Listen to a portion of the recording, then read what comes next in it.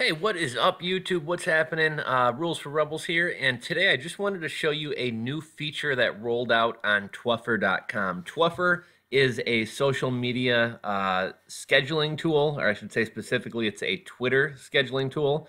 So it allows you to pre-schedule tweets. Now, I've made some videos about Twuffer before, and I've been using Twuffer for a while. The one downside to Twuffer and a lot of these uh, tweet uh, scheduling tools is in the past they've never given you the option to be able to uh, tweet a picture along with your tweet, only text.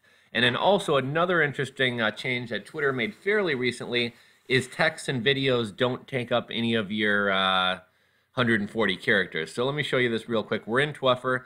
Uh, it's a little bit different. You didn't used to have to log in or create an account. Now they're going to have you log in and create an account. You're going to go up here and click New Tweet. And uh, just for the sake of this example, uh, here's a T-shirt that I have, uh, an Amazon merch shirt. I have uh, Kush 420 Bud Company. Um, so let's say I wanted to make a tweet promoting this. Um, you know, I could say something like, uh, "Hey guys, check out this rockin' uh, Kush T-shirt. Pick one up on."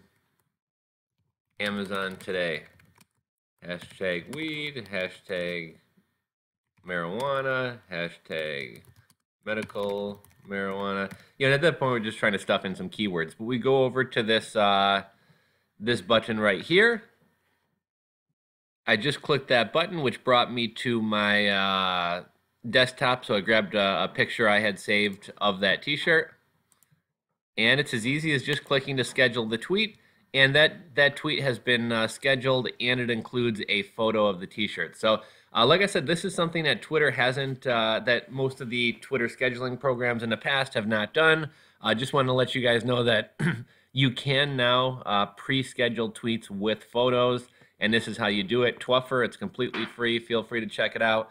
Uh, hopefully this helps some of you guys out in automating some more of your social media processes I uh, hope you found this video helpful. If so, please give it a thumbs up, subscribe if you're not subscribed, and uh, check back for some more videos. We got some more great stuff coming out later this week. And uh, thank you guys for watching.